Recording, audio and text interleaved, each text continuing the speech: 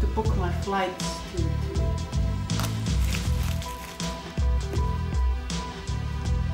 the book is a good place to start, which is it's got all the informations uh, that you can even imagine that nobody ever has done this, and um, it gives you the facts and figures and informations on where and how and who, and so the, really the book was very hard. You know, it was hard work. It took a year, more than a year.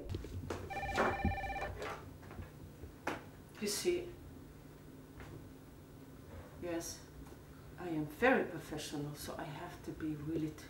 The, the final declaration, which is under that. Under here. Under here. This is the um, Imam. The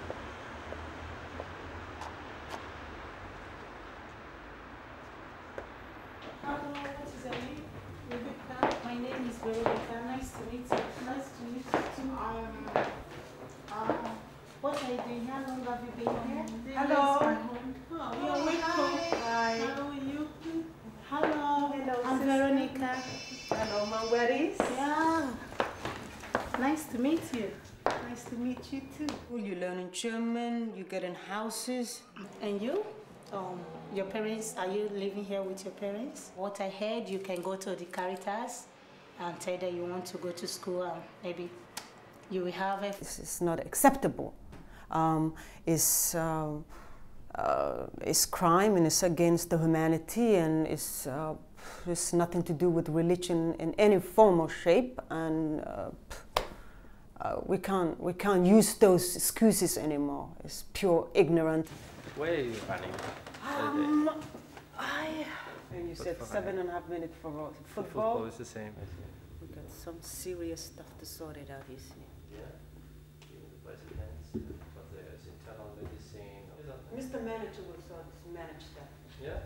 Später ist es natürlich ein großes Problem beim Geschlechtsverkehr. Wenn wirklich also eine schwerwiegende äh, Verstümmelung stattgefunden hat, äh, ist der Verkehr kaum möglich. Es muss immer wieder op neu operiert werden und dann als Geburtshelfer, als Gynäkologe gibt es natürlich die Probleme, wenn die Frau dann schwanger ist und zur Geburt kommt.